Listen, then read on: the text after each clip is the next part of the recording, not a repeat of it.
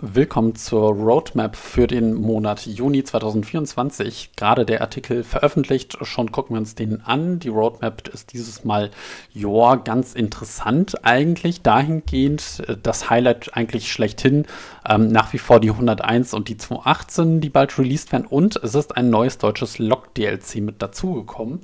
Und zwar im Bereich vier bis sechs Monate. Ähm, wir wissen noch nicht, welche Lok das sein könnte, aber es, die wird dann auf jeden Fall von DTG gebaut. Ähm, ja, genau. Also da, das, das schon mal das Highlight schlechthin. Und dann würde ich sagen, gucken wir uns das einfach mal nach und nach an. Ähm, wir werden gleich äh, in die Tiefe reingehen, was die 218 angeht, aber auch die 101. Ähm, ansonsten, ja, Background Project, Brief Updates on Project we haven't discussed recently. Da gucken wir auch gleich rein, was da so steht. Summer Core Update, es wird noch ein großes Update kommen, was so, äh, was vor allen Dingen den deutschen Bereich angeht. Das wird noch kommen. Ähm, Suspension, ne, das kennen wir, PC-Editor und City Transport Simulator äh, wird auch noch erscheinen. Ähm, ja, genau. Was, was es hier, hier ist, ähm, die äh, Sachen, die sich dann im Vergleich zur letzten Roadmap geändert haben, aber das haben wir jetzt gerade schon gesehen. Dann ähm, äh, a Note on Add-on Timelines. Also hier steht so ein bisschen was äh, über, äh, was diese äh, Zeiträume bedeuten: 0 bis 3 Monate, 4 bis 6 und Release Date TBC.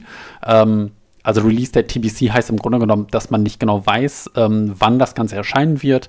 Äh, und in diesen 0 bis 3 Monaten ist es halt einfach klar, die Projekte sind nahezu fertig. Da hat man schon intern zumindest ein Datum oder mehr oder weniger und weiß dann schon, wann das Ganze dann kommen wird. Genau, willkommen zur Roadmap. Ähm, hier wird einmal ganz kurz erzählt, was äh, zuletzt released wurde. Cargo Line Volume 2 haben wir uns jetzt nicht zusammen angeguckt, werden wir auch nicht. Was wir uns aber zusammen angucken werden, wird wohl Cathcart Circle Remaster sein und die Scotch Rail Class 380. Ähm, und zwar äh, ähm, das Fahrzeug hier wo ist die 380? Da. Da sehen wir die 380. Ähm, die wird da neu mit dazukommen. Das Ganze werden wir uns natürlich zusammen angucken. Es wird ein neuer Fahrplan kommen. Ähm, das Ganze wird auf TOT 4 abgegradet. Neuer Fahrplan eben. Ähm, ja, generell ganz, ganz viele Verbesserungen. Ähm, also die Strecke wird wirklich sehr, sehr schön werden. Das Ganze werden wir uns dann zusammen angucken, wenn das Ganze released wird. Jetzt aber nicht Fokus ähm, ja, hier auf diesem Kanal sein, aber wir werden definitiv mal reinschauen sogar Dampflokfahrten auch mit dabei. Die Flying Scotsman äh, wird auch mit da sein. Also auf jeden Fall viel, viel los. Ähm, und das sieht schon, das ist schon ein, krasse, ein krasses 3D-Modell, oder? Das man hier gebaut hat. Sieht schon sehr, sehr cool aus. Ich würde sagen, wir gehen aber weiter und ähm, schauen uns mal an, was zu 218 steht. Ähm, es gibt ein paar brandneue Bilder zur Baureihe 218. Hier sehen wir sie im Schnee mit äh, N-Wagen hinten dran, die 218 443-7. Ähm, ich weiß nicht, auf welcher Strecke das ist. Das könnte die Maintalbahn sein, ne? Ja, doch, sieht, sieht nach Maintalbahn aus, genau. Ähm, hier auch ein Bild vom Führerstand, texturiert mittlerweile. Ah, das sieht herrlich aus, ne? Großdiesel-Lok, endlich die erste Großdiesel-Lok im TSW, die wir haben, wird bald erscheinen. Ähm, Genau, und äh, äh, genau, die 218 wird dann auch äh, im Maintalbahn-Fahrplan mit drin sein. Also nicht nur Hamburg-Lübeck, sondern eben auch Maintalbahn ähm, statt der 642 dann. Und Mike Golz von äh, TSG hat auch ein bisschen was dazu gesagt. Ähm, das Ganze können wir uns eigentlich übersetzen lassen. Dann muss ich da nicht die ganze Zeit selbst hin und her übersetzen. Ähm, also die, der Maintalbahn-Fahrplan ist eine Kopie des Originals, wobei einige der Lokomotiven nicht die 642 sind, sondern die 218. Ähm, es wird eine Push-Pull-Konfiguration mit nur drei Dostos verwendet. Das heißt, wir können Dostos eben fahren. Dabei handelt es sich um die Dienste, die als eine Art Test eine recht kurze Zeit auf der Strecke liefen. Da wir Gameplay brauchten, dachten wir, wäre es schön, es dort zu haben. Also tatsächlich realistisch in diesem Sinne. Ähm, die Sounds. Ähm, dazu sagt Mike Golds folgendes. Derzeit sind die Sounds in unseren Builds Platzhalter, während wir an deren Implementierung arbeiten. Ich habe echte Aufnahmen eines Lokführers gesammelt, die wir verwenden möchten und wir prüfen, ob wir mehr Audio für die Motorgeräusche erhalten können. Also das Ganze noch Work in Progress ähm, über das Modell der 218. Da gab es nämlich ein bisschen Kritik, dass das Modell nicht ganz so gut ist. Wir haben darin gearbeitet, beim, bei der 218 ein hohes Maß an Details umzusetzen, insbesondere im Außenbereich als Hinweis. Wenn Sie sich hineinbewegen, gehen Sie normalerweise davon aus, dass Sie sich in einem offenen Raum befinden, in dem alle Motorteile sichtbar sichtbar sind. Da wir dies jedoch nicht reproduzieren können, werden Sie eine Wand mit geschlossenen Türen bemerken auf beiden Seiten, wie diese, wie, die diese Vision einschränken wird. Ähm, ne, das heißt also, der Innenraum ähm, ist in diesem Sinne nicht begehbar, äh, der, der Motorraum. Ähm, wie es sonst normalerweise sein würde, aber ne, dann ist es halt so. Ähm, es wird aktuell nur die verkehrsrote Lok geliefert. Da ist jetzt kein Plan, da noch weitere ähm, Loks damit zu liefern, beziehungsweise eben keine, keine anderen ähm, Lackierungen. Aber ähm, es gibt vielleicht äh, in der Zukunft noch äh, Pläne, da eventuell noch die eine oder andere Lackierung hinzuzufügen. Ähm, aber erstmal wird es bei der verkehrsroten Variante bleiben. Natürlich wird das Ganze im Livery Designer unterwegs sein. Ähm, zum Thema Substitution, also ob man die Lok einfach in anderen Fahrplänen benutzen kann. Ähm, da die anderen Lokomotiven in der Regel doppelt so stark sind wie die 218er, haben wir derzeit keine Ersatzlok, also keine Substitution eingerichtet, da eine einzelne 218 nicht ausreichen würde, um diese schweren Züge in Bewegung zu setzen. Genau, also die 218 wird erstmal nicht äh, substituten. Ähm, und ein paar Key-Features, die 218 Serie 400 mit TB11-Motoren in Verkehrsrot, N-Wagen in Verkehrsrot mit dem Diesel-Karlsruher Kopf, ähm, neuer Fahrplan oder im Fahrplanmodus für Hamburg-Lübeck unterwegs, vier Szenarios, ähm, die da mitgeführt, mitgebracht werden, zwei Tutorials im, Training, im Trainingscenter und zwar einen für die 218, einen für den Steuerwagen. Und den Journey-Modus wird es natürlich auch geben. Hier nochmal der Steuerwagen nach Miltenberg. Und hier die 218 vorne dran in Miltenberg. Ach, das sieht schon wirklich, wirklich toll aus. Ja, ähm, also Release Date ist, kann noch nicht ganz ähm, ja, 100% gesagt werden, aber äh, hier steht, ähm, dass es der nächste Release sein wird für TSW 4, also schon recht bald eigentlich. Dann zur Expert 101 und dem Steuerwagen.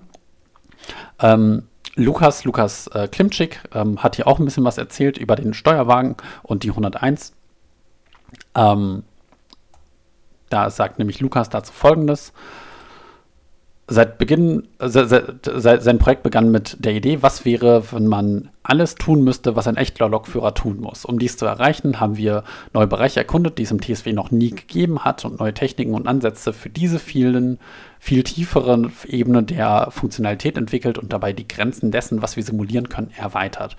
Und dann sehen wir das Ganze hier mal im Blueprint, äh, äh, im Simograph. Das ist der Wahnsinn, was hier alles so mit drin ist, was verbaut ist und das ist wirklich nur dieser kleine Teil, also wirklich nur so ein kleiner Teil hier vorne. Und so sieht das Ganze eben von, von, von weiter weg aus. Also es ist wirklich verrückt, was da alles mit verbaut ist.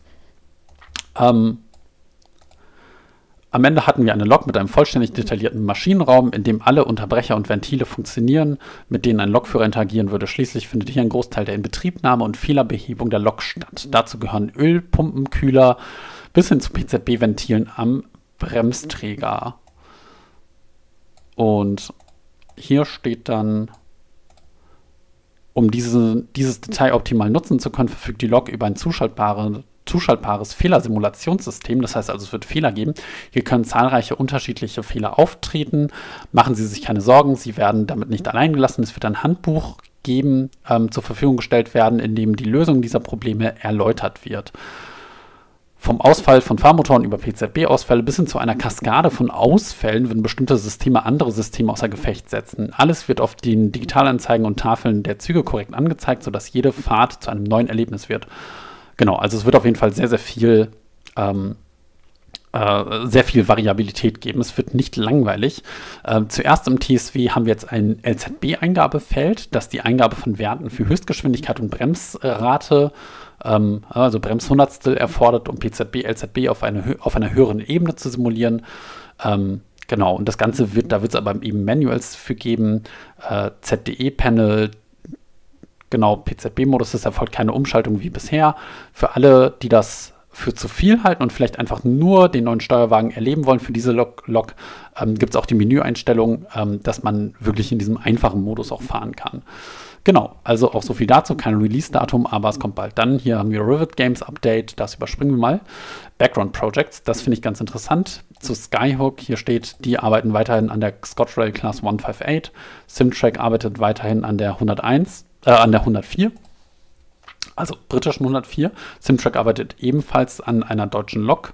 Ähm, ja, die ist immer noch äh, Work in Progress. Köln-Aachen-Fahrplan ähm, ist immer noch ein Bau von Joe. Der ist allerdings gerade mit Cathcart Circle äh, beschäftigt. Dementsprechend äh, gibt es da gerade keine neuen Nachrichten. Und San Bernardino interessiert mich persönlich jetzt auch nicht so sehr. Dann ähm, Sommerpatch. Äh, Gab es ein großes Patch, was die britischen, ähm, ja, das britische Rollmaterial anging, angeht. Ähm, Suspensions Improvement ähm, haben wir auch hier wieder ein neues Video, das so ein bisschen die Suspension zeigt. Hier mal mit der Class 08 und der Class 47. Wir sehen das dann hier, wenn das Ganze einmal hier so drüber geht. Ja, ne? also schön, wie sich da alles bewegt. Und dann wird dann zum Schluss ähm, auch noch auf MPC-Projekte hingewiesen. Ähm, das allerdings, allerdings jetzt nichts, was in irgendeiner Form ähm, ja, von DTG herausgegeben wird, sondern das sind eben entsprechend ja, die Projekte. Trains in Play, wer ist das denn? Keine Ahnung. Ähm, und äh, City Transport Simulator wird bald erscheinen. Ne, auch da gibt es eine Roadmap. Äh, 20. Juni kann man, glaube ich, mittlerweile sogar vorbestellen. Ja, also so viel zur Roadmap. Ähm, kurz, knack, knackig, bündig. Wir haben eine neue deutsche Lok, äh, die angekündigt wurde. Und alles andere werden wir dann sehen im Laufe der Zeit, was da noch auf uns zukommt. Ich bedanke mich fürs Zuschauen. Alles Gute, alles Liebe. Macht's gut. Ciao, ciao.